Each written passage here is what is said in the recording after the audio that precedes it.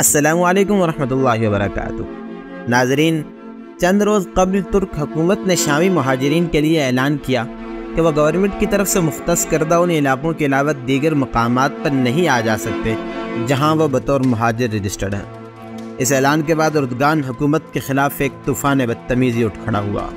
Propaganda ये किया गया कि शामी महाजरीन के नाम पर वोट लेने वाले अब उन्हीं के लिए मुश्किल पैदा कर रहे हैं।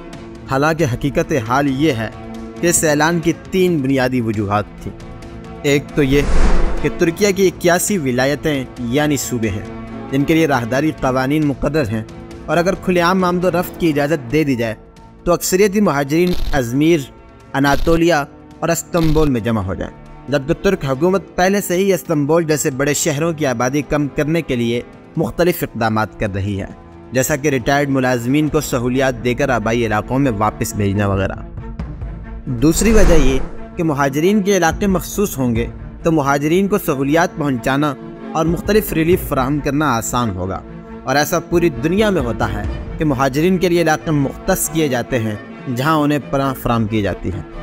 तीसरी वजह यह कि तुर्किया शाम के तबाहशुदा इलाकों में तमीरत करके आहिस्ता आहिस्ता शामी महाजरीन को अपने इलाकों में आबाद कर रहा है। ताकि महाजरीन अपने आबाई वतन में बासहूलत अपनी ज़िंदगी गुजार सकें और ये इकदाम बसानी तकमील को उसी सूरत पहुँचेंगे जब महाजरीन तुर्क हुकूमत की तरफ़ से मखसूस करदा इलाक़ों में आबाद होंगे।